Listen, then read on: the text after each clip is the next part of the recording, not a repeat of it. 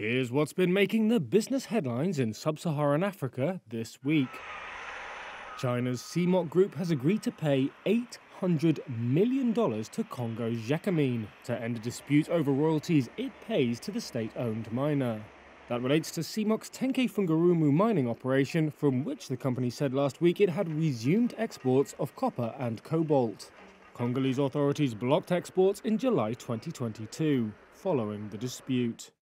Swiss food company Nestle says it will be locally sourcing over 40% of raw materials for a new processing plant in South Africa to offset supply chain challenges and cut costs.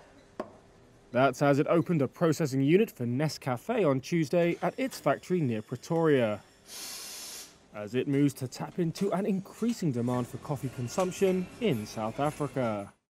Also in South Africa, the country's electricity crisis is weighing on the financial results of the world's biggest producer of platinum group metals, or PGM.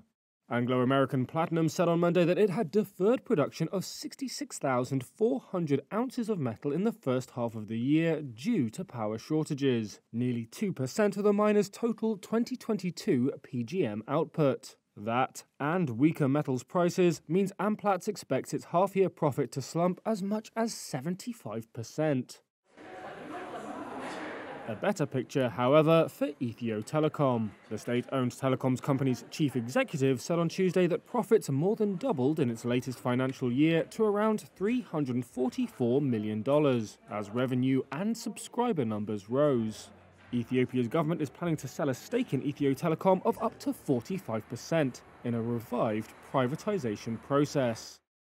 And finally, Britain has sanctioned 13 individuals and businesses in Central African Republic, Mali, and Sudan, with links to Russia's Wagner Group. Among those sanctioned was the operational head of Wagner in CAR and Meroe Gold, which the UK said had imported equipment including weapons, helicopters, and military trucks.